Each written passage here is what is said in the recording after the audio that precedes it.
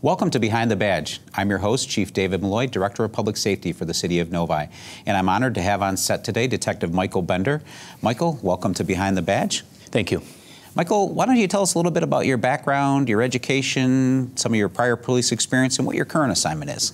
Well, ever since I was as little as I, I can remember, I wanted to become a police officer. I, uh, I, graduated from Saginaw Valley State University in 2000. Uh, I was lucky enough to obtain a position as a police officer in Genesee County for four years. Uh, 2000, I started in law enforcement. Uh, and then after uh, Richfield Township, I was fortunate enough to be hired with the City of Novi in 2004. And uh, I was in road patrol for, for a few years. I was a field training officer for a few years, which was an excellent assignment. I uh, also was uh, driving, I'm still I'm a driving instructor. Uh, I was fortunate enough to be selected Officer of the Year in 2010. Uh, and then in 2013, I uh, was fortunate enough to be selected to uh, become a part of the Detective Bureau. And, and, you've been serving in that position ever since? I have. What do you primarily specialize in? I'm a juvenile detective. Okay, so tell the viewing audience what that entails. Uh, so, uh, what I typically do is I investigate child abuse investigations, child neglect investigations, uh, child sexual abuse of material. Uh, I also uh, conduct uh, and assist Child Protective Services in their investigations and family intervention crisis. Okay.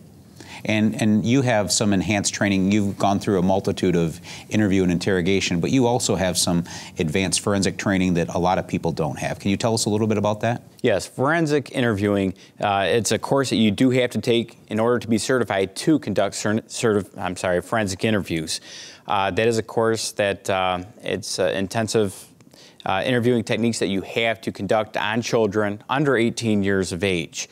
Uh, that is something that either myself will do or an advocacy center uh, Care House would do. And we've worked with Care House for decades here at the Novi Police Department. I, I even remember when I was in your position working with Care House back in the early 90s, and, and it, let the viewing audience know about the value of that type of program. Oh, it's tremendous. Uh, you know, we can offer a variety of services. However, Care House can also uh, offer a variety of services that uh, families would seek out in case that they need them counseling, uh, different therapy sessions, uh, medical examinations uh, that they can also offer that maybe we cannot. And it's a multidisciplinary approach. It's not just the police, but we bring together the prosecutors, protective services, all the stakeholders. So um, I think the ultimate goal still is is to minimize the amount of trauma and exposure to that young victim, um, so they don't have six or seven people interviewing them, but we have one forensic interviewer. It's very important that uh, it, keeps uh, less, uh, the less the better. Uh, we want one interview. We don't want to traumatize the child. Uh, that's why we, we have to approach this very, very carefully.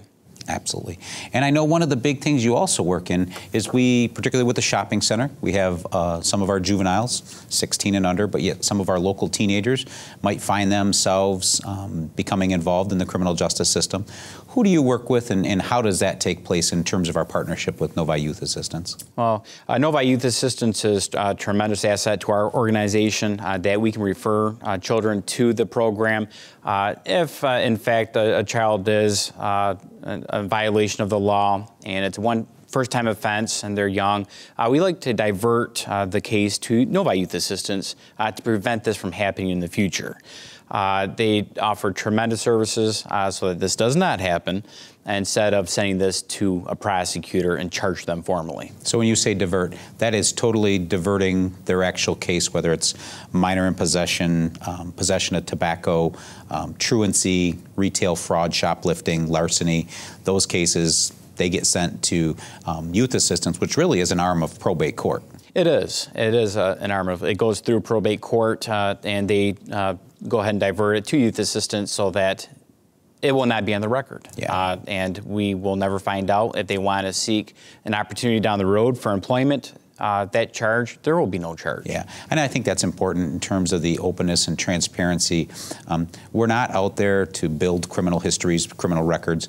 You know, we're, we're out there as peacekeepers, and if we do run into someone who's gone afoul with the the statutes and the law, we do have to take the appropriate action. But we look at this as a great reform measure to have in place, uh, and it's been a great community program for the decades that we've been here. It's a tremendous asset to our organization, and uh, we're very lucky to have such an organization in Oakland County Yeah. uh, to have this. But you also work in conjunction with the schools. You know many of the school social workers, and, uh, psych- psychologists, et cetera. Yes, uh, I do visit them as well and uh, kind of keep in touch with them. They do have questions for me, such as child abuse investigations, on how they should react to any kind of suspicion of child abuse or or any kids that are in trouble. Uh, so I do keep in touch with them as well uh, and hope that they can uh, reach out to the proper resource. Excellent. Well, I appreciate you taking the time to be with us today to uh, join us here on Behind the Badge. Thank you, Uh, any any cl- closing tips you would give parents in terms of you know dealing with uh, their teenagers and, and some of the